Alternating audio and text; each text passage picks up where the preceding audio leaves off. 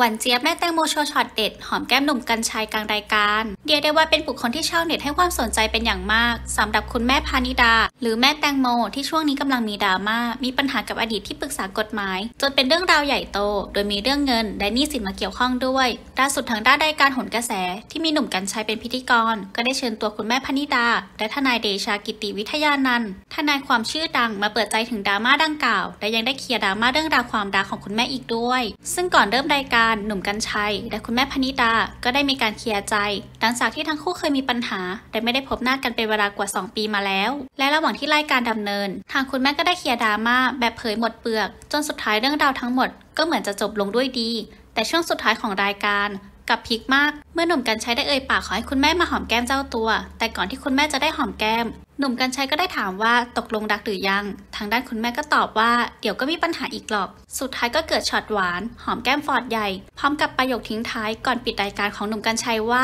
ดีกันแล้วนะ ทางคุณแม่ตอบกลับว่าดีกันแล้ว